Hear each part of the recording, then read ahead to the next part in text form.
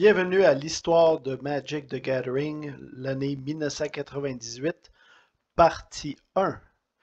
Euh, ça fait longtemps qu'on ne s'est pas vu, euh, mais euh, je me suis remis en chantier. Vous devriez voir d'autres épisodes sortir bientôt. on va passer à travers l'année 98. Je vais y aller par étapes. donc, ça va être un peu spécial l'épisode d'aujourd'hui parce que l'année 98, pendant l'hiver, c'était deux formats qui étaient surtout joués dans les, dans, les tournois compétitifs. Il y avait le format Extended que je réserve pour un épisode un peu plus loin et le format Tempest limité, c'est-à-dire euh, euh, Draft, Seal et euh, Tempest construit, c'est-à-dire 60 cartes, juste des cartes de Tempest. étonnamment, c'était beaucoup joué à l'hiver 98 et il y a eu des decks vraiment intéressants. c'est pour ça que je veux couvrir ça. Euh, donc aujourd'hui, on va voir un, vieux guide du tournoi sorti en avril 98, publié par le magazine InQuest. Euh, on va voir le Grand Prix euh, de Melbourne en Australie. On va voir le Grand Prix d'Atlanta. On va voir le Grand Prix de Stockholm. Et on va voir le Pro Tour Los Angeles de 1998. Euh, on va aussi voir beaucoup comment, les gens faisaient pour se préparer au tournoi. Euh, j'ai beaucoup d'anecdotes qui m'ont été envoyées par des gens qui ont participé à l'époque. Vous allez voir, ça va être très intéressant. Euh, aussi, j'aimerais, il y a beaucoup de gens qui m'ont demandé d'avoir accès à mes sources hein, pour faire les sources que j'utilisais pour faire ces vidéos-là. Eh bien, c'est vraiment simple, sont accessibles à tous. Euh, si vous allez sur euh, les vidéos, en fait, si vous allez dans les commentaires, vous voyez, je veux l'exemple ici avec mon euh, vidéo de, la, sur Tempest.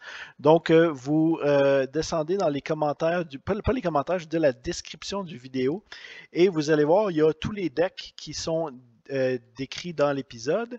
Et chaque deck a un lien qui te permet d'aller voir le deck sur MTG Goldfish. C'est là que je les archive.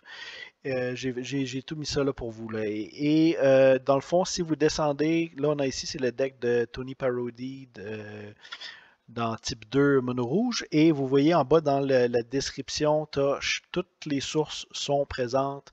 Par exemple, là, si on prend ici le Bet Morsun, Slide Giba, Duelist numéro 17, juin 97, page 43. Vous voyez, ça c'est l'article de Bet Morsun dans le Duelist euh, numéro 17 où ce qu'elle décrit là, euh, comment les decks de euh, mono rouge étaient joués euh, à l'époque. ça, c'est juin 97, mais il y a beaucoup de concepts là-dedans qui sont repris pour ce deck-là. je vais vous donner un autre exemple pour le fun. Gatarel, par exemple. Alex Varsman, Famous Red Deck in History. Mais encore une fois, c'est sur le site de Wizard of the Coast. Euh, des vieux articles. Euh, toi, celui-ci date de 2004. Euh, bref, tous mes decks sont archivés de la même façon. je vous invite à aller vous promener là-dedans. il y a pas mal de stock et même des affaires que j'ai pas eu le temps de parler. fait que vous allez en apprendre beaucoup. Là. Donc, pour avancer à travers l'année 98, on va le faire par l'entremise des tournois compétitifs majeurs, c'est-à-dire les Grands Prix et les Pro Tours. Je rappelle que pour aller au Pro Tour, il fallait se faire inviter soit en gagnant un des nombreux tournois euh, dans les magasins qui avaient lieu un peu partout à, travers le monde, ou en faisant le top 8 d'un Grand Prix. La tradition à l'époque, c'était que le format d'un qualifier, c'était celui du dernier Grand Prix juste avant. Donc, pour se qualifier pour le Pro Tour Los Angeles, qui avait lieu, le Pro Tour Los Angeles était euh, dû pour le début mars 98. Pour se qualifier pour le Pro Tour Los Angeles, il fallait faire un des nombreux qualifiers qui ont commencé à partir du 6 décembre 97. Et le Pro Tour précédent, le 6 décembre 97, c'était le Pro Tour Chicago, que j'ai déjà parlé euh, dans, un de mes précédents vidéos, qui était un, Pro Tour de format Extended, qui est l'ancêtre de Moderne. Donc, tous les qualifiers pour le Pro Tour Los Angeles du 6 décembre jusqu'au 31 euh, janvier. Euh, là, ce qu'on a ici, ça vient du, du duelist. C'est les, tous les qualifiers à travers les États-Unis. C'était tous de format extended. Et mon vidéo présent n'a pas pour but de parler de extended. Je me réserve de faire un gros vidéo sur le format extended un peu plus tard dans l'année. donc, comme j'avais fait pour l'année 97. Donc, je vais complètement skipper tout ce qui est qualifier pour le Pro Tour Los Angeles parce que c'est le format extended. Puis ça, ça, mérite son propre vidéo. Le format extended est complètement différent des autres. Euh, donc, je vais plutôt me concentrer sur les qualifiers pour le Pro Tour New York. Le Pro Tour New York était dû pour le début euh, avril. Donc, tous les qualifiers, ils ont commencé euh, au mois, début février jusqu'au 29 mars c'était du format du proto précédent. Euh, donc, c'était le non pas, le proto Chicago, mais le proto Mains, qui avait eu lieu à la mi-décembre 1997 et qui était de format Tempest, Seal et Draft. Donc, effectivement, on va voir un peu euh, comment, comment les, formats euh, Seal et Draft se faisaient. Parce que le proto de New York euh, était un proto de format Seal Draft, Tempest et Stronghold. Donc, c'est important qu'on se penche un peu là-dessus. Euh, il va y avoir, comme vous voyez, plusieurs tournois qui ont eu lieu euh, à travers les États-Unis et le Canada. Et aussi, il y a eu deux grands prix avant le Proto New York qui étaient de ce format-là. Donc, le format de Rochester Draft, euh, c'est très différent du Booster Draft qu'on connaît. C'est pour ça que je vais prendre quelques minutes pour bien le décrire. Euh, on a ici un article du Duelis euh, numéro 31 de décembre. c'est-tu décembre? Novembre 98. Eric Tam, Eric Tam était un pro player de l'année 96 qui avait été engagé par le Duelist pour écrire des articles sur le draft. Donc, il nous décrit ici dans son article Round Robin, Six Golden Rules to Apply to a Rochester Draft. Euh, ces petits trucs du métier, hein, euh, il mentionne notamment comment ça se déroule un Rochester Draft. Donc, c'est huit joueurs autour de la table. Euh, ils ont chacun assigné un numéro de 1 à 8. Donc, donc le, joueur numéro 1 va ouvrir son paquet et met les cartes face ouvertes sur la table pour que les autres le voient. Et ensuite, le joueur numéro 2 va choisir une carte et ça va aller comme ça dans le sens horaire, chacun son tour, joueur 2, joueur 3, joueur 4 et ainsi de suite. Euh, quand tu arrives au joueur numéro 8, euh, lui va piger, vu qu'il est le dernier à piger dans le paquet, euh, lui il pige deux cartes et ensuite il ouvre son paquet, il le met sur la table et la pige recommence, mais dans le sens inverse. Donc, donc c'est un processus qui est un peu plus long que le booster draft. Euh, et tu vois ce que tes autres euh, piges. Donc les grosses bombes qui sont sur la table, les cartes qui sont fortes dans le format, euh, tu sais un peu qui les a ramassées. Donc c'est une, stratégie pas mal différente du booster draft. on a ici un exemple d'une annonce faite sur le Newsgroup pour un, qualifier qui a eu lieu le, le 14 février 1998 pour le Pro Tour New York. Euh, tu vois, c'est South Coast Game Association Present, Pro Tour New York Qualifier. Euh, ça donne un spot pour aller au Pro Tour. Euh, ça commence à 10h. C'est 25$ à la porte en dollars de l'époque. Format Tempest Seal. comme je le rappelle, hein, c'était les Seals à l'époque, c'est un starter, deux boosters et ça donne le choix de 5 Basic Land. en plus des Basic Land que donne ton starter. Donc c'est très différent de nos Seals d'aujourd'hui.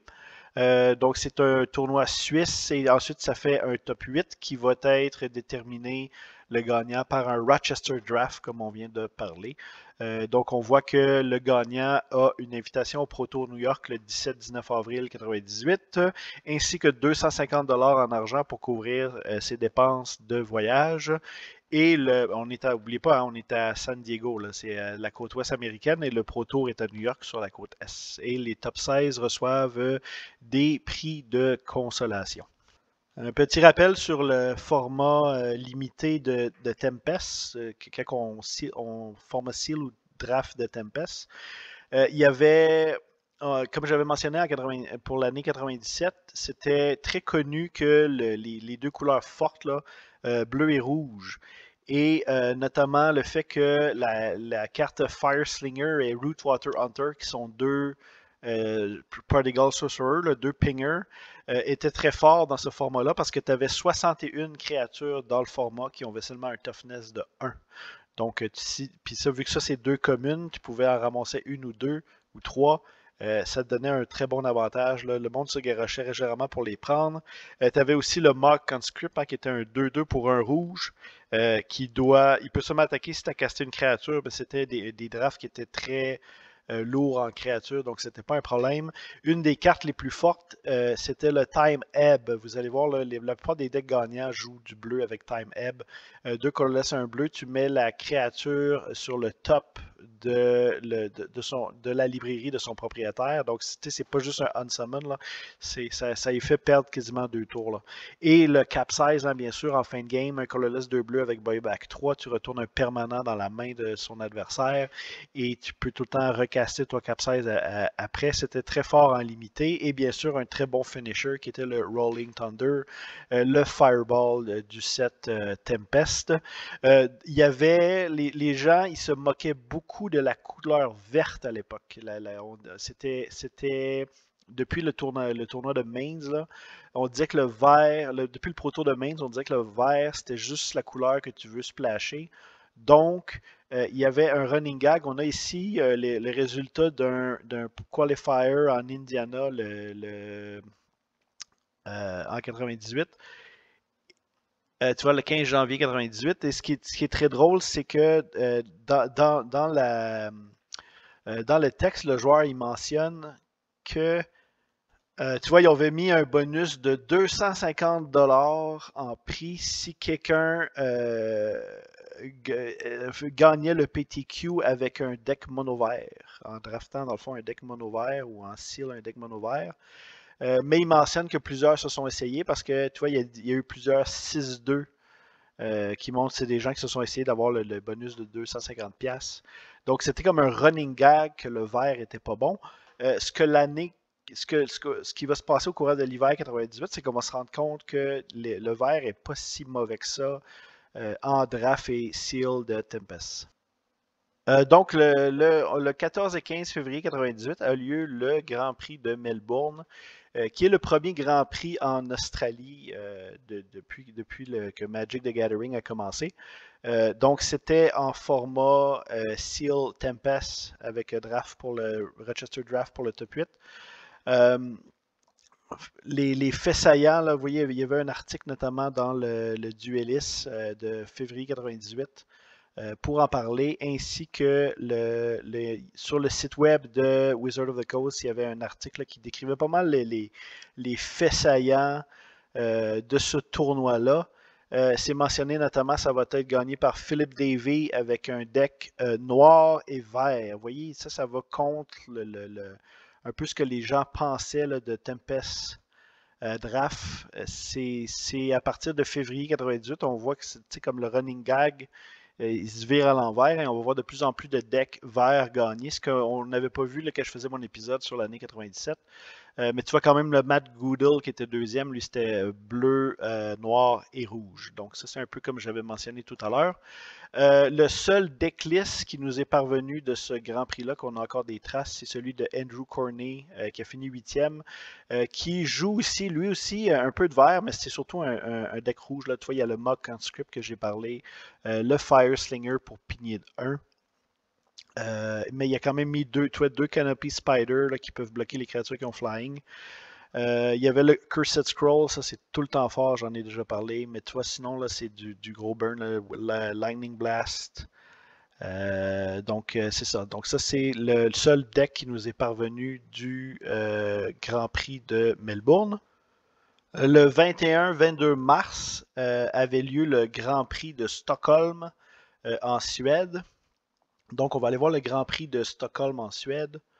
Euh, il a été remporté par euh, Ole Rade. Euh, on se rappelle de Ole Rade, c'était celui qui avait notamment gagné le Pro Tour Columbus en 96 et qui avait été le, il avait fait plusieurs top 8 pendant cette année-là. Il avait été sacré le meilleur joueur de l'année 96. On l'avait vu aussi ensuite pas mal, notamment il avait fait le top 8 au Pro Tour Chicago format extended. Donc, c'est un des, vieux pro players euh, de Magic qui était très jeune à l'époque au euh, Lerade. Il est encore ado quand il avait gagné le Pro Tour euh, Columbus en 96. il a gagné le Grand Prix de Stockholm en format Seal et Rochester Draft pour le top 8. avec un, tu vois, 5, victoires, 0 défaites et une, un match nul. Euh, on, a, on a les traces de son deck euh, pour le, draft euh, dans le top 8. Donc, le, deck de Olerade, on voit qu'il y avait notamment trois Train Armadon. Train Armadon, c'est un colorless, deux verts pour un 3-3 en commune. C'était très facile à ramasser. Il y avait des Earthwood Dryad qui sont un, un colorless, un vert qui a Forest Walk. mais surtout, tu sais, il y a les deux Time Ebb comme Removal. Euh, c'était un deck très aggro, presque stumpy, euh, presque mono vert. Euh, il, a un peu prouvé que tu peux gagner un tournoi de draft Tempest en, draftant du vert si tes bonnes cartes s'alignent vers toi. je pense que c'est surtout grâce à Train Armadon et les deux Time Ebb. Le 27 et 29 mars, donc la semaine suivante, c'était le Grand Prix Atlanta hein, aux États-Unis. Euh, encore une fois, 10 000 en prix. Tempest Limited, donc en, un seal et un draft pour le top 8. Euh, ce tournoi-là a euh, eu deux, deux, événements que, que, que les gens se souviennent, que l'histoire a retenu. Notamment, ça a été gagné par Randy Bueller. Randy Bueller qui avait gagné le Proto Chicago en format extended, qui avait comme pas mal lancé sa carrière. Ben, ça, c'était son autre victoire euh, il va faire euh, son deck, c'était euh, rouge et noir, hein, mais c'était surtout pour le, encore une fois, son noir était très fort. Vous voyez, il a, réussi à ramasser deux diaboliques Edic qui forcent son adversaire à sacrifier des créatures, deux Disturb Burial qui est un buyback que tu ramènes une créature de ton graveyard dans ta main. il y avait, toi, deux Sky Shroud Vampire qui est un 3-3 flying que tu peux booster en discartant une carte, deux Doty Aurore, un 2-2 Shadow. le Mog Fanatic hein, qu'on connaît très bien, le Stone Rain. Donc c'est un deck très, très agro, très, euh, et sacrifice. Euh, ça lui a permis de se hisser jusqu'à la première place du euh, Grand Prix Atlanta, mais c'est pas ce, qui, ce, qui, va lui donner une invitation pour le, Proto New York, mais c'est pas ce qui va faire en fait la, renommée de ce Pro Tour là, ce Grand Prix là. Ben, ben euh, West, euh, dans son article de 2010, les 10 déqualifications les plus mémorables de tous les temps, nous parle de Mark Justice. Hein. on se souvient, Mark Justice, qui était un des premiers pro players aux États-Unis. notamment, il avait gagné le US National en 95. Et euh, il avait fait pas mal de top 8 là, au, courant de l'année 96 euh, et 97. Euh, je l'avais mentionné, Wizard of the Coast avait beaucoup misé sur Mark Justice dans le marketing là, pour inciter les gens à participer au Pro Tour, ces choses-là. donc, j'avais mentionné la dernière fois qu'on s'en avait parlé de lui qu'il était, il, il, gagnait plus beaucoup de tournois euh, à l'époque. Et euh, au Grand Prix Atlanta, euh, il va se faire pogner à tricher. L'article mentionne 97, mais c'est une erreur parce que c'est le, Grand Prix Atlanta est en 98. Il n'y a pas de Grand Prix Atlanta en 97. Ça, c'est une erreur de l'auteur. Néanmoins, il mentionne que Mark Justice avait drafté un deck de Sliver et qui avait euh, drafté trois Muscle Sliver, hein, qui avait écrit sur, parce que dans les Grands Prix, il faut que tu fournis euh, ton decklist pour éviter la triche, de, ramener des cartes de, l'extérieur du draft. Euh, sauf que il est allé voir Rudy Edwards, hein, qui était Rudy Edwards, c'est un, autre pro player, mais à ce moment-là, il y avait un kiosque pour vendre des cartes. Et il lui a acheté un Muscle Sliver qui a mis dans son deck. Euh, le problème, c'est que le, Muscle Sliver, la, raison pourquoi il s'est fait pogner à mettre un quatrième Muscle Sliver euh, dans son deck, euh, c'est que le Muscle Sliver qu'il avait acheté à Rudy Edward était d'une impression différente que ceux du draft. Fait que quand il l'a joué et qu'il l'a mis sur la table, ses adversaires ont tout de suite spoté que la couleur vert était off. C'était différent des autres cartes vertes autour. Euh, donc, ils ont collé un juge. Le juge est venu questionner euh, Mark Justice. Et euh, Mark Justice, son excuse, c'était que un, des un, des muscle slivers qu'il avait drafté était endommagé. Fait qu'il l'avait remplacé en en achetant un nouveau. Euh, puis qu'il n'avait pas pensé que ça allait causer problème, puis qu'il avait jeté le, le muscle sliver endommagé dans une poubelle. Là, le juge a dit Ah ouais. Fait qu'ils ont fouillé toutes les poubelles dans le, lieu où avait lieu le Grand Prix et ils n'ont trouvé aucun euh, muscle sliver. Donc, euh, tu vois, ça dit que Mark Justice a été disqualifié du tournoi pour tricher étonnamment, ça ne l'a pas disqualifié à vie parce qu'il va continuer à faire des pro tours, mais c'est pas mal, pas mal là. je pense qu'il va encore faire un, top 8 à quelque part, mais il est vraiment sur la fin. Vous allez me voir de moins en moins parler euh, de Mark Justice. Euh, il mentionne, Blaine West mentionne aussi que euh, Mike Long, Mike Long, ça c'est l'autre pro player controversé que j'ai souvent parlé, euh, dans un match contre Mark Justice, a cogné à un moment donné sur la table, ce qui a fait renverser le dé sur lequel il prenait le life total. Et connaissant l'attitude de Mike Long, ça, se peut que c'était volontaire. Hein. Le, gars, le gars était très shady, très, très, très croche. Euh, donc là, ça l'a fait un genre destinade. Il a fallu qu'il amène euh, des juges pour régler cet incident-là.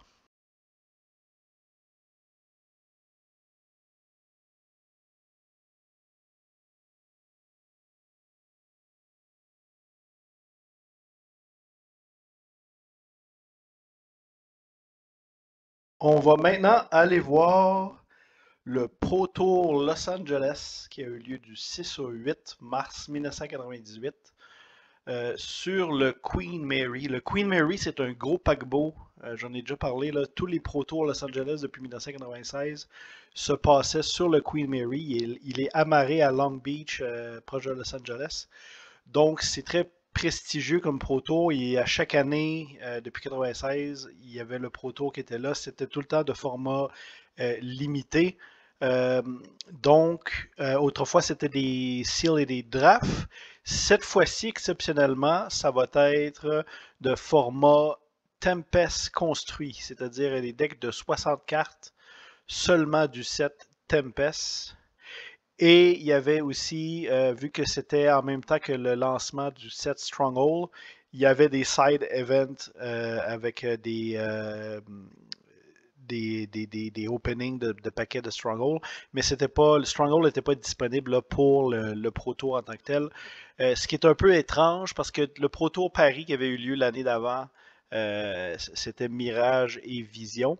Euh, dans ce cas-ci, ils ont décidé que ça allait être seulement Tempest. Je ne sais pas pourquoi, c'est la décision qu'ils ont prise. Euh, donc, euh, euh, vous admirez ici le fabuleux poster qu'il y avait dans les magazines à l'époque avec le gros requin. C'est pas mal cool. moi, ce que j'ai aimé de ma recherche sur le Pro Tour Los Angeles, c'est qu'il y a anormalement beaucoup, beaucoup, beaucoup de sources, beaucoup d'archives. Il y a beaucoup de témoignages qui est resté sur Internet. J'ai réussi à contacter du monde qui avait participé puis ils ont répondu à mes questions.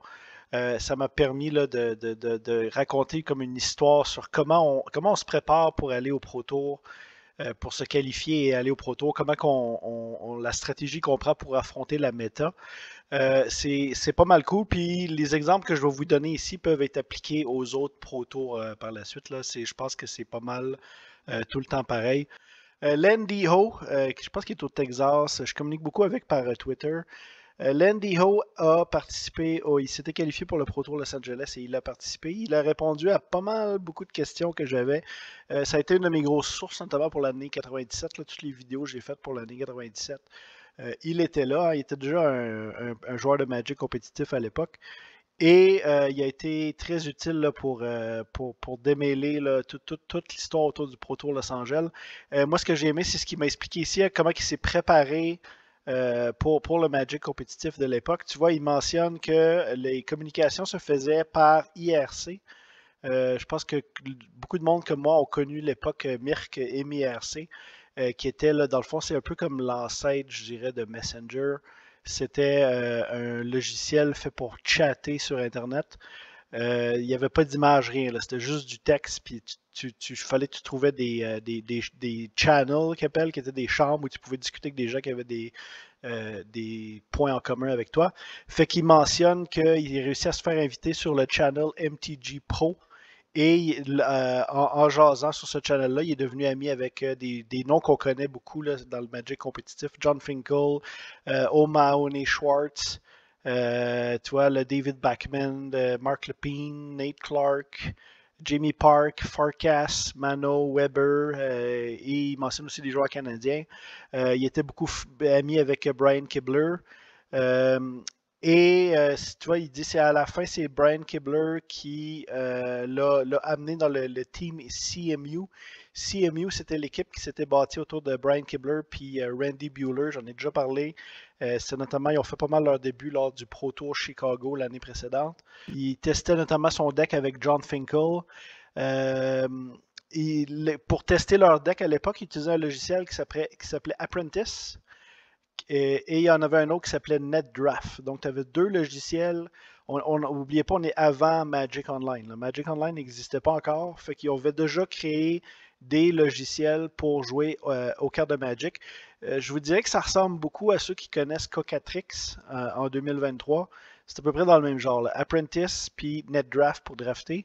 NetDraft, c'est qui donnait comme un espèce de système qui permettait de drafter des paquets. C'est très primitif. Hein. Je pense même pas qu'il y avait les hearts sur les cartes. Et le reste du temps, ils se communiquaient par IRC. Donc on voit, que les joueurs, même en 98, là, ils étaient quand même déjà beaucoup ce que j'appellerais le Magic the Gathering sur Internet. Donc, euh, j'ai le témoignage de Mike Turian. Mike Turian, on, l'a déjà vu euh, pour l'année 97, il avait fait quelques top 8. Euh, il était dans Team CMU avec Randy Bueller et ce gang-là. Et il y avait aussi Eric Lauer, hein, qui était comme leur espèce de, Il l'appelait le Mad Genius, Eric Lauer. C'est surtout lui qui designait les decks. Et éventuellement, Eric Lauer va devenir un designer de sets de Magic. Ils avaient remarqué que pour le, format Tempest limité, il n'y avait pas beaucoup de, cartes qui détruisent des artefacts. Tu avais Disenchant dans le blanc, Shatter dans le rouge. Euh, mais c'était pas mal ça. C'était très difficile de se débarrasser des artefacts. Fait il, s'était dit que probablement que les artefacts allaient être euh, vraiment plus forts que d'habitude.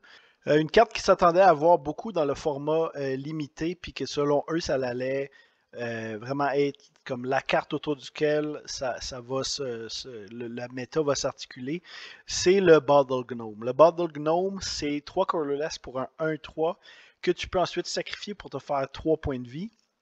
Le Bottle Gnome, un artefact, hein, euh, c'est puisque, comme j'ai mentionné, le rouge s'attendait à être la carte, la couleur la plus forte, puis qu'il y aurait beaucoup de decks rouges. Le Bottle Gnome était très bon contre ces decks-là parce que puisque c'est un 1-3, ça bloque beaucoup les créatures à 2 de power qui sont présents dans les decks aggro rouge. Et euh, le, live game qui te donne, par exemple, si, tu vois que ton Bottle Gnome il va mourir, ben, tu le sacrifies juste avant, fait que ça te fait 3 points de vie. Euh, ça te permet de, garder une bonne distance pendant que tu builds ton board pour euh, fermer le, battlefield pour un, joueur aggro qui, qui, après 4-5 tours, si tu n'as pas encore tué, généralement c'est pas mal terminé. Le Ball Gnome était euh, tellement, je vais revenir beaucoup, là, vous allez voir, il y a beaucoup de decks qui tournent autour de Ball Gnome, à tel point que Randy Bueller, dans le dueliste de euh, décembre 98, a écrit un article de deux pages à propos de l'importance du Ball Gnome au Pro Tour Los Angeles. Ça, vous donne une idée.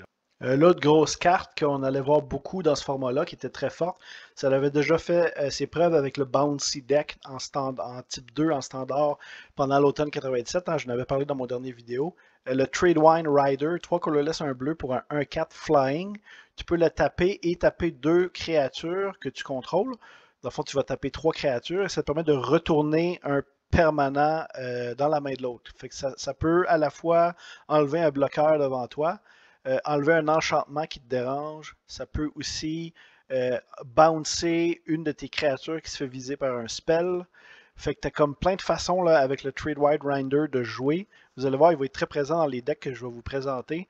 Euh, c'était l'autre grosse carte forte là, de, cette méta-là. Euh, euh, cette carte-là est tellement forte qu'elle était une des cartes les plus jouées dans le type 2 en 98. quand, je vais faire, je vais vous parler des decks en type 2, là, vous allez voir le Trade Wide Rider, là, on, va, on va le voir. Le Trade Wine Rider, on va le voir souvent. une autre carte qu'on veut beaucoup remarquer aussi, c'était Ancient Tomb. Euh, Ancient, Tomb, c'est un des fameux gros land de Tempest. Euh, c'est que tu peux le taper pour faire deux mana colorless et ensuite ça te fait deux de dégâts. La plupart des gens euh, connaissent Ancient Tomb à cause que c'était très utilisé dans les decks d'Eldrazi, mais déjà en 98, là, ça avait été très remarqué pour, pour les decks, notamment l'équipe de CMU. Euh, ils se sont dit, on va, ils ont designé dans le fond deux types de decks, euh, puis là, ils les testaient un contre l'autre. Il y avait ce qu'ils appelaient le Ancient Red, qui était un deck de burn avec des Ancient Tomb dedans, et le Ancient Green, qui était un deck de vert, ramp, avec beaucoup d'artefacts et des Ancient Tomb. et ce qui s'était dit aussi, c'est que les gens, le, deck rouge allait être désavantagé euh, parce que, on le sait, je l'ai mentionné souvent, à quel point les cartes rouges sont fortes dans Tempest. Fait que probablement que les gens ils vont se préparer puis ils vont amener beaucoup de Circle of Protection Red. Puis si on veut des Circle of Protection Red, vu n'y a pas grand chose qui peut détruire les enchantements dans le rouge, ben t'es fourré. Fait qu'ils euh, ont plutôt penché vers jouer euh, le, le, le, ce qu'ils appelaient le Ancient Green, qui vont éventuellement rebaptiser le deck Iron City.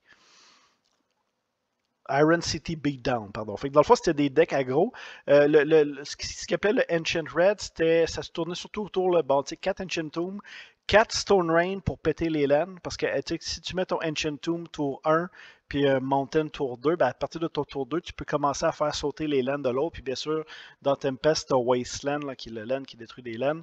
Fait que tu peux faire euh, facilement un deck de Land Destruction et briser le dos des decks multicouleurs. Et euh, le fait d'avoir Ancient Tomb te permet aussi de caster un Lightning Elemental au tour 3. Et Lightning Elemental étant le, Ball Lightning, le, petit descendant du Ball Lightning. Hein, c'est un 4-1 qui a Ace Sauf qu'il n'y a pas de trample, puis tu le perds pas à la fin du tour. Mais tu sais, un 4-1, ça rentre au poste. Euh, on a ici le, Iron City de, Randy Bueller. Hein. Il va terminer en 16e position. Euh, donc, il ne va pas réussir à, faire le top 8.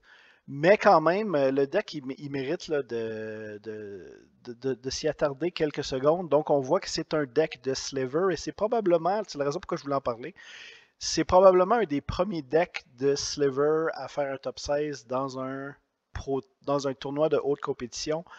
Euh, il n'y en avait pas eu là, à date. depuis que Tempest était sorti. Ça, c'est probablement un des premiers à se rendre aussi loin.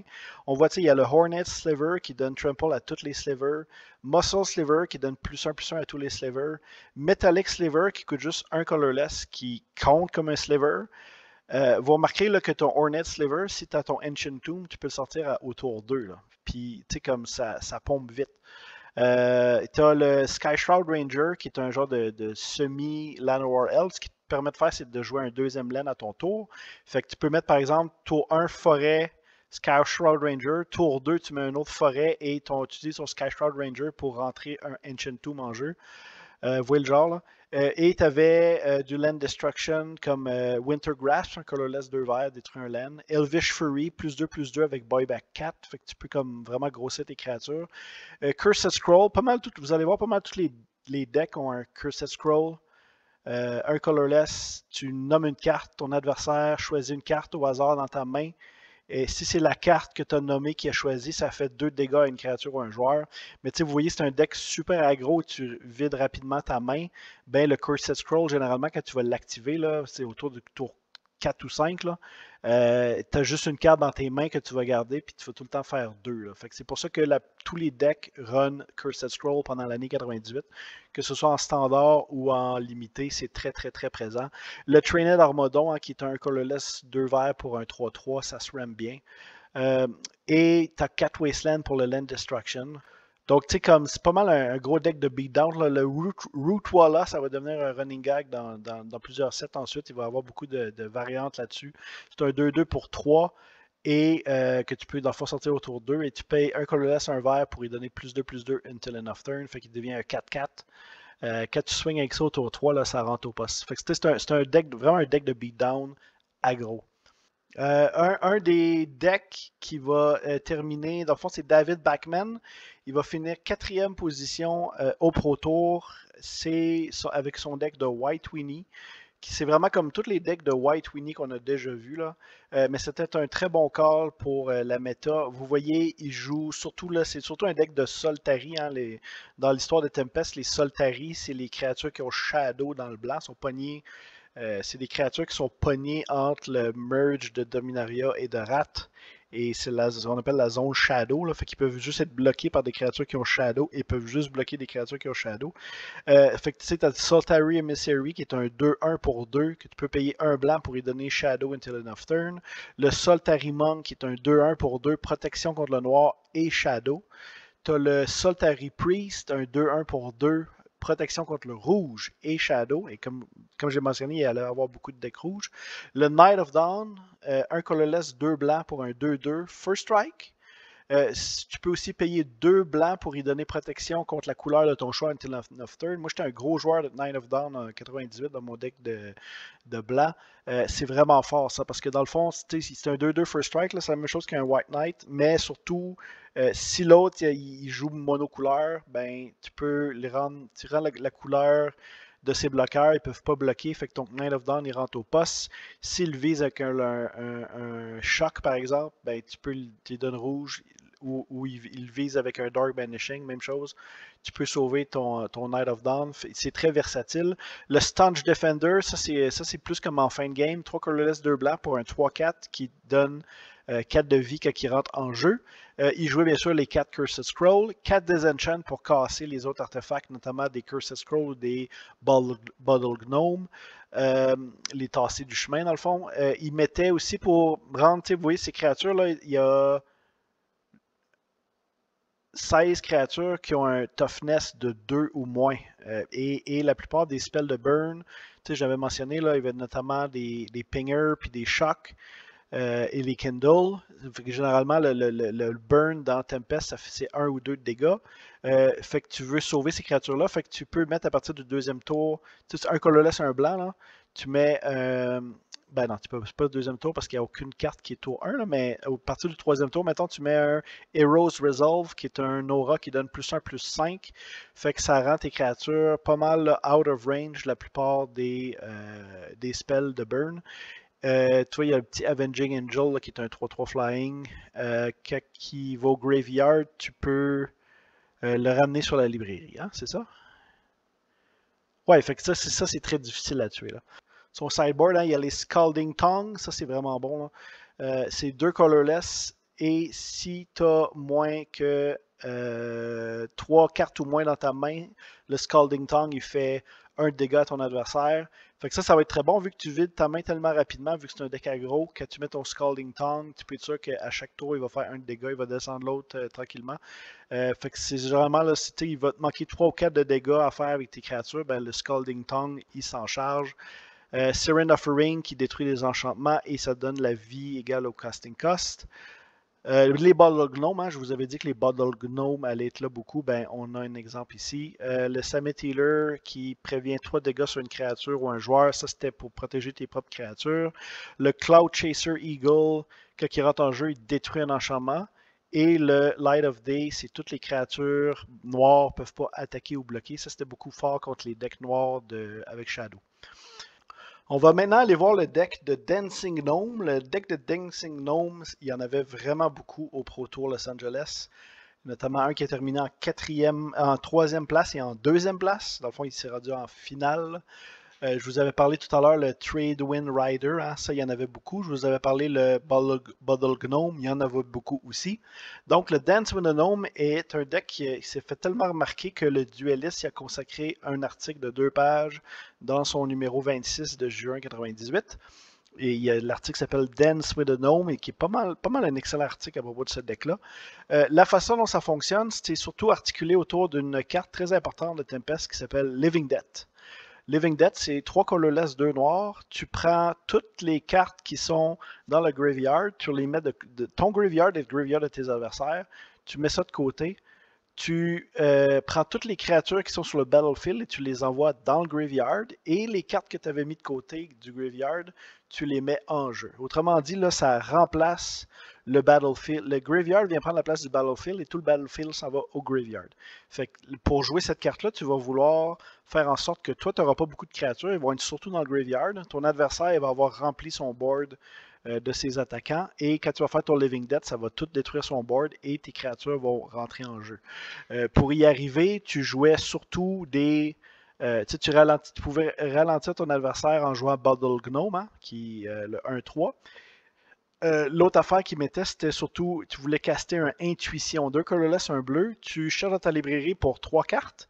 Tu les révèles à ton adversaire. Il en choisit une que tu vas mettre dans tes mains et tu mets le reste dans ton graveyard. Fait par exemple, tu vas aller chercher trois Bottle Gnome. Tu en mets une dans ta main, tu en mets deux dans le graveyard. Tu vas chercher euh, ou, trois Sky Shroud Vampire. Euh, whatever. Dans le fond, tu vas chercher trois, trois trucs, puis tu en as deux qui vont dans le graveyard. Euh, après ça, tu avais euh, les Grave Digger, trois colorless, un noir pour un 2-2, que tu, quand il rentre en jeu, tu prends une carte dans ton graveyard et tu la ramènes dans ta main. Et tu avais le Sky Shroud Vampire, 3 colorless, 2 noirs, un flying 3-3, et que tu peux discarter une créature pour y donner plus 2, plus 2 until end of turn, fait qu'il devient un 5-5. Écoute, euh, si, si là, 4 tours avec ton Sky Shroud Vampire, s'il n'a pas répondu, il est mort. C'est un 5-5 flying. Et le Tradewine Rider allait très bien avec le Living Death parce que tu pouvais le bouncer lui-même pour éviter l'effet du. Tu sais, dans le fond, tu castais ton Living Death, tu bounçais ton Trade Rider, fait qu'il se faisait pas tuer par Living Death. Tu ramenais tes trucs euh, du Graveyard en jeu et tu. Euh, j'imagine le tour après, tu recastais ton Trade Rider. Euh, le Rats of Rats, le Rats of Rats est quand même intéressant dans ce deck-là parce que moi je trouve que c'est comme l'épice de plus. Là. Un colorless, un noir pour un 2-1. Fait que tu un 2-1 euh, ça rentre au poste. C'est, comme un genre de Savannah Lion un petit peu plus cher. Euh, mais ce qui est surtout utile, c'est que tu peux payer un noir et il va marquer, il ne tape pas. Hein. Tu payes un noir pour détruire un artefact, une créature ou un laine que tu contrôles.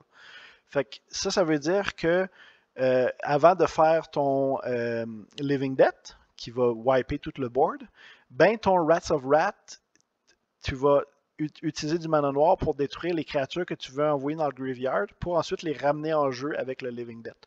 Tu as une espèce de vraiment belle synergie avec ça. Le Bottle Gnome, là, oubliez pas, le Bottle Gnome, c'est la même chose. Euh, tu vas pas, tu sais, il est sur la table, tu fais ton Living Death, tu vas le sacrifier pour gagner 3 vies, il s'en va au graveyard et ton Living Death le ramène en jeu. C'est très fort. Euh, une autre carte qui est jouée dans le deck que je veux vous montrer, c'est le le Corpse Dance. Euh, il, jouait un Corpse Dance, c'est deux colorless, un noir. C'est pour ça qu'on dit Dancing Gnome. Deux colorless, un noir, buyback 2. Fait que pour deux colorless, tu peux le ramener dans ta main euh, quand tu le casses. Fait que quand tu utilises ton Corpse Dance, là, tu vas taper généralement 5 mana. Tu prends une créature dans ton graveyard, tu la mets en jeu. Elle a haste et tu dois la remove from the game à la fin de ton tour. Euh, l'avantage avec ça, si tu veux pas le remove from the game, c'est que puisque tu as ton Rats of Rats, tu peux le sacrifier pour éviter qu'il soit exil. Et le tour d'après, si par exemple tu avais un, un Scry Shroud Vampire dans ton graveyard, ben euh, tu le ramènes avec ton Corpse Dance et tu le sacrifies avec ton Rats of Rats. Euh, Adam Katz, ça c'est sur le deck de Adam Katz Dancing Gnome. Il a terminé troisième dans le tournoi. Euh, on va juste aller voir pour le fun son euh, sideboard. Hein. Euh, vous voyez, il y a les Curse Scroll. Maze of Shadow permet de bloquer les créatures qui ont Shadow. Power Sync en 4 copies. Ça, c'est un counter spell X, X colorless, un bleu. Par exemple, si tu payes 2, ben, c'est un genre de comme un spell pierce un peu. L'autre, il casse. Fait que là, il faut qu'il rajoute un mana de plus à son casting cost. Et généralement, il ne l'aura pas. Fait que tu vas counterer son spell. Euh, Altar of Dementia, tu sacrifies une créature et euh, ça va euh, miller le, deck de l'adversaire selon le power de la créature. Ça, ça peut être intéressant. tu as des Dark Banishing, ça c'est un genre de terreur, mais qui coûte 3. Et des Dread of Night contre les decks de Winnie Blanc. Toutes les créatures blanches ont moins 1, moins 1. vous marquez aussi, j'ai oublié, les deux Capsize ici là, en main deck pour bouncer des permanents, comme j'avais parlé tout à l'heure. sinon, la, touche finale pour le contrôle, c'est le deux colorless, un bleu, un noir. Euh, tu regardes la main de ton adversaire et euh, tu choisis. D'abord, c'est pas un basic land, tu choisis une carte qui n'est pas un basic land et tu cherches ensuite le graveyard et la librairie pour des copies de cette carte-là et tu les remove from the game. Vous remarquerez que ça, ça se marie très bien avec le capsize qui bounce dans les mains. Donc, tu peux comme, comme vider le, graveyard. de, si l'autre il joue un deck de combo ou des cartes qui seraient très dommageables contre toi, ben, euh, par exemple, quand il rentre son sideboard, ça, peut être très bon. Euh, ben Ruben. Ben Ruben a terminé en finale deuxième euh, avec une, variante de Dancing Gnome pas mal plus complexe, je dirais. il, a amené beaucoup de. C'est pas mal, sensiblement la même affaire. Là. Tu vois, il joue. Tu vois, il joue 4 intuitions, 4 lobotomies, 4 living death. 4 Tradewine Rider, il joue 4 Ball Gnome, mais où ce qui a amené des innovations, c'est que à la place du Rats of Rats, il joue Banakin, qui est un 1 pour 2 qui permet de faire un mana colorless. Fait dans le fond, c'est pour ramper. Il joue 3 Stonge Defender qu'on a vu tantôt, le 3-4 qui fait de la vie quand il rentre en jeu. Fait que ça c'est bon puisque tu as beaucoup de créatures qui qui rentre sur Battlefield à partir du Graveyard avec euh, Living Death, entre autres, et Corpse Dance. Euh, il joue pour détruire les artefacts de l'autre, les Disenchant, parce qu'il a splashé du blanc.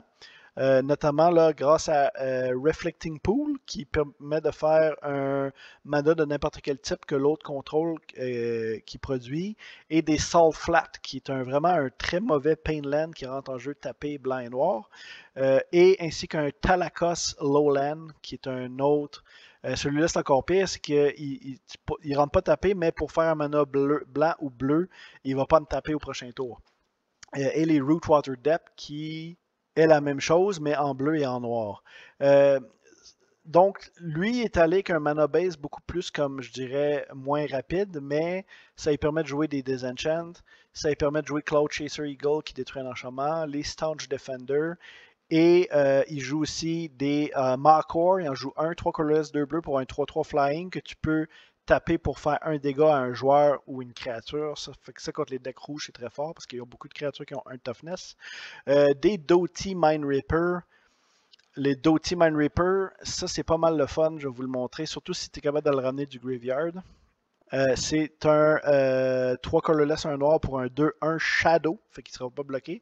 Mais surtout, tu peux le sacrifier fait qu'avant que tu fais ton ligne date, tu le sacrifies et ton adversaire doit euh, choisir et discarter trois cartes. s'il n'a pas été bloqué, hein, bien sûr, mais il y a Shadow, fait que ça va être difficile à bloquer. Mais euh, tu sacrifies ça pour enlever trois cartes d'un main de l'autre, euh, c'est vraiment fort. Et il jouait aussi le Kezedrix. Kezedrix, est un 2 colorless, 2 noirs pour un 4-4. First strike. Si ton adversaire n'a pas de créature, il te fait 4 de dégâts à toi. Euh, mais c'est surtout le fait que tu comptes gagner plus de vie que l'autre, puisque tu as des Gnome qui te ramènent de la vie. Et tu as plein de façons de te débarrasser de Kizedrix, comme Living Dead par exemple. Euh, dans son euh, sideboard, il était préparé contre les decks de rouge. Vous voyez, il y a 4 chill, un colorless, un bleu, un enchantement qui fait que toutes les spells bleus, toutes, pardon, toutes les spells rouges coûte 2 euh, colorless de plus à jouer. Et euh, il jouait trois, trois Rats of Rat qu'on a vu tantôt, un autre Disenchant, deux Cloud Chaser Eagle, un autre Kezedrix et des Dread of Night contre les decks euh, aggro blancs. ce qui est intéressant avec Ben Rubin, c'est qu'à l'époque, il avait 15 ans quand il a participé à ce tournoi-là.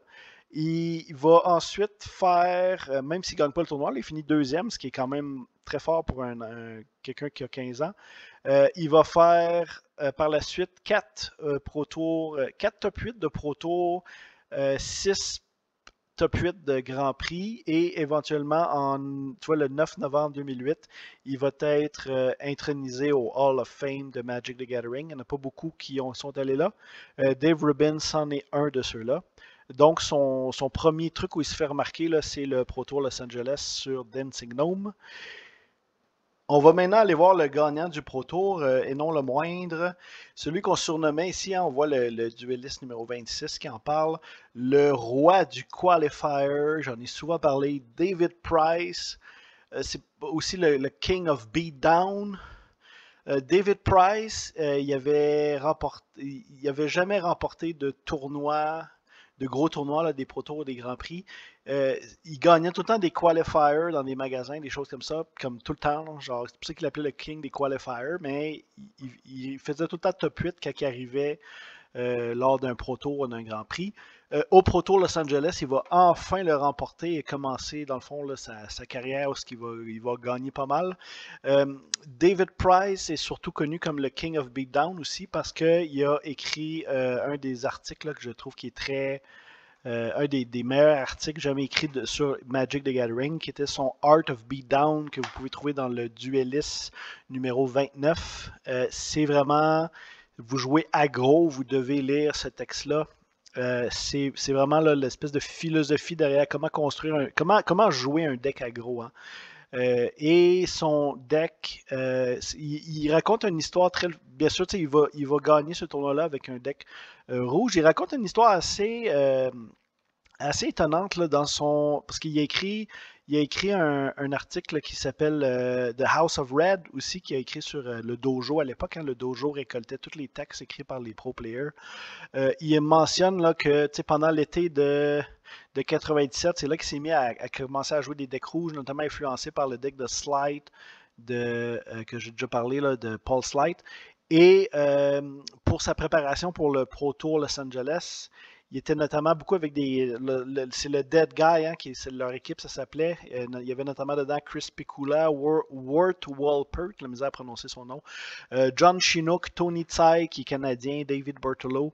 Euh, il y avait beaucoup de Canadiens dans cette équipe-là, entre autres. Et eux vont, vont, vont décider d'y aller en rouge. Mais ce qu'ils se rendaient compte, c'est qu'à cause de Bottle Gnome et des decks de Dancing Gnome, Peut-être que le deck rouge n'était pas une bonne idée parce que les decks de Dancing Gnome gagnaient tellement beaucoup de vie avec le Ball of Gnome, ça les bloquait beaucoup en tour 1. Ben, euh, David Price, lui, est arrivé avec une petite tech, euh, une, petite tech impressionnante, hein, qu'on pourrait dire. C'est un peu le, comment il a réussi à résoudre l'équation et gagner ce tournoi-là. Avant d'arriver à celle-là, on va voir un peu comment, comment, comment ça fonctionnait son deck. C'est vraiment simple. C'est le traditionnel euh, de ce qu'on appelle un deck de Sly ou un deck de euh, Red Deck Win, c'est que à chaque tour, c'est optimises ton mana, c'est suivre la curve. À chaque tour, tu vas jouer une créature et à chaque tour, tu vas avoir une créature qui attaque. Fait que tu vois, tout coûte un ou deux. Là. Euh, à, quelques exceptions près. Là. As, euh, tu vois Jackal Pop qui est un 2-1 pour un rouge, Mog Conscript un 2-2 pour un rouge, Mog Fanatic un 1-1 pour un rouge, mais que tu peux sacrifier pour faire un dégât à une créature ou un joueur. C'est très pratique pour enlever des créatures qui ont un toughness. Il y en a plein. Comme j'ai mentionné, il y a 61 créatures qui ont un toughness dans Tempest. Mog Raider un rouge pour un 1-1, mais que tu peux sacrifier un gobelin pour donner plus 1 plus 1 à une autre créature until end of turn. Fait que ton Jackal Pop est en train de, est en échappé, là, puis tu as deux autres gobelins qui ont Summoning Sickness, ben tu t'en sacrifies, sacrifies deux, ben ça donne plus 2, plus 2. C'est vraiment tu race l'autre. Tu as le Canyon Wildcat, un 2-1 qui a Mountain Walk. Ça, c'est vraiment bon contre les autres decks rouges parce qu'il ne pourra pas le bloquer. Euh, il y a le Fire Slinger, un colorless, un rouge. Ça, c'est un. Ça fait un dégât à une target et un dégât à toi. Mais tu t'en fous parce que l'autre, sa vie va descendre beaucoup plus vite. Euh, tu vois, il y a 4 Curse Scroll et deux Scalding euh, Tongue que j'ai parlé tout à l'heure. Euh, il y a 4 Kindle, un colorless, un rouge. Un Kindle, c'est un peu comme un genre de choc un peu plus cher. Il fait 2 dégâts à n'importe quel euh, target, un joueur ou une créature. Mais si tu as d'autres Kindle dans ton graveyard, ben, ça rajoute plus 1. Fait que si par exemple tu casses un Kindle puis tu en as un autre dans le graveyard, ben, il va faire 3. Euh, si tu fait qu'à mesure que la game avance, puis tu casses tes Kindle, ils sont de plus en plus gros. Là. Euh, et il y a 4 Wastelands pour détruire les lands, par exemple, les Ancient Tombs, ces affaires-là. Euh, surtout son innovation, parce que on voit que tout le toughness est très bas, hein, c'est du 1 ou 2 de toughness. à part les deux Rati Dragon. Rati Dragon, ça c'est intéressant aussi. c'est un 5-5 flying pour 4, dans le fond comme un Zuzam Jin dans le rouge. Euh, son seul drawback, c'est quand il rentre en jeu, tu dois sacrifier deux montagnes, mais tu t'en fous parce que tout le reste coûte un ou deux. Fait que let's go. Euh, et, son innovation que je vous parlais, c'est que puisque tout à part les deux Rati-Dragons, puisque tout a un ou deux de toughness, fait qu'il est très vulnérable, par exemple, à d'autres Flyer Singer, des chocs, des choses comme ça, ben, euh, lui, il s'est rendu compte qu'il y avait Giant Strength euh, dans Tempest, qui est un aura, un reprint de légende. C'est un aura qui donne plus 2, plus 2 pour 2. Fait que dans le fond, c'est que tu casses ton Jackal Pop au 1 pour 1 rouge, et ensuite tu mets par-dessus ton Giant Strength, ben, ton Jackal Pop est maintenant un 4-3. Euh, il est hors de portée des, euh, des chocs et des Kindle, ces choses-là. Euh, c'est beaucoup plus difficile à, battre, notamment les Bottle Gnome qui sont des 1-3. Ben, ils peuvent plus bloquer et survivre face à une créature que tu as mis un Giant String dessus. tous les commentateurs mentionne là, notamment le, texte de Randy Bueller, Like Shooting No in a Bottle. Il mentionne tout comment le, fait qu'il a mis euh, Giant String dans son deck a fait toute la différence pour le tournoi. Euh, sinon, le sideboard, tu as des Scalding Tongue, j'ai parlé tantôt, Cat Shatter pour briser les artefacts, notamment d'autres Cursed Scroll, euh, Cat Stone Rain, hein, il peut rentrer Cat Stone Rain qui va péter des laines, euh, un Rati Dragon, Torture Chamber, Apocalypse pour 5, tu removes tous les permanents de la game, tu discartes ta main, ça c'est un espèce de, de, In case of emergency break glass, là, ça wipe tout le board. Ça inclut les laines, hein, by the way. Et le Jinx Idol pour deux colorless euh, à ton upkeep, il te fait deux dégâts à toi. Mais tu peux t'en servir pour sacrifier une créature et ton adversaire va gagner le contrôle de Jinx Idol. Fait que tu y donnes, il est pogné avec et c'est à lui que ça fait maintenant du dégât à chaque euh, upkeep. Euh, pas, mal, pas mal drôle, pas mal drôle. Pour le tournoi, il mentionne dans son Tournament Report, David Price, que pendant toute la première partie du tournoi, il a rencontré étonnamment, il est étonné lui-même, aucun deck de Dancing Gnome. Fait qu'il a fini la première journée 7-0. Euh, et ensuite, tu vois, là, il, s'est ramassé dans, la finale en top 8. Il a battu David Backman, le, White Winnie 2-1. Euh, il a perdu contre Adam Katz 1-2. Euh, il dit qu'il était. Ça, c'est le deck de Dancing Gnome qu'on a vu tout à l'heure, le premier qu'on a vu des deux. Il dit qu'il était incapable de battre ce deck-là. et ensuite, par contre, là, il s'est repris il a battu Rudy Edward et euh, il s'est ramassé ensuite, c'est dans le, dans c'était pas dans le top 8, ça c'était la, deuxième journée. Et là, dans le top 8, euh, il a passé à travers pas mal tout le monde. son match final contre Ben Rubin, qui était sur Dancing Gnome, il mentionne comment les Giant Strength sur la Jackal Pop, c'était pas mal trop gros pour ses créatures. et dans la finale, tu vois, dans sa main de départ, il y avait trois montagnes, un Jackal Pop, un Fire Slinger et deux Stone Rain. Et euh, vu qu'il savait que ben, il avait vu que Ben Rubin jouait euh, euh, quatre couleurs, trois couleurs, pardon, mais quand même, on a vu à quel point son mana base était faible. il avait rentré les Stone Rain de son sideboard dans son main deck. Fait qu'il y en avait deux dans sa main départ. et il a pigé ensuite un Wasteland et ça l'a fait en sorte que il a descendu l'autre à 12 de vie que le Jackal Pop et L'autre n'avait même plus de, de laine parce qu'ils avaient tout cassé avec des Stone Rain et des, euh, des Wastelands. Eh bien, c'est tout pour cette semaine. Euh, j'espère que vous avez apprécié et euh, je vous invite à partager nos vidéos, à en parler au monde autour de vous. Et on a un podcast Terrain Basique qui sort à chaque mercredi matin. Vous irez voir ça. La, pour, la prochaine fois qu'on va se revoir, euh, je vais faire euh, Stronghold, hein, les, coulisses de comment ils ont fait ce set-là. Et on va aussi se plonger dans le format standard du printemps 1998. Euh, j'ai vraiment beaucoup d'infos des nationales de France ainsi que des régionales de Normandie. Il y a beaucoup de traces sur Internet. Donc, on va s'amuser à checker les decks de ce top 8-là. Et on va aussi voir le Pro Tour de New York gagné par John Finkel, qui a vraiment lancé sa carrière. Euh, à la prochaine.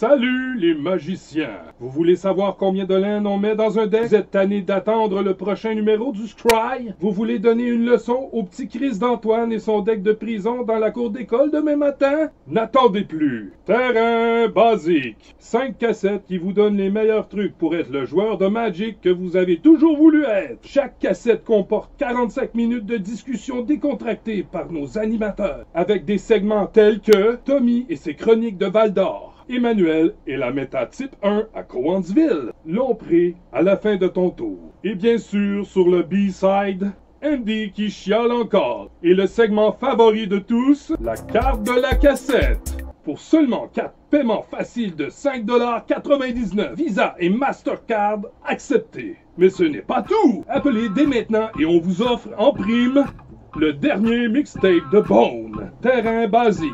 N'attendez plus, commandez maintenant.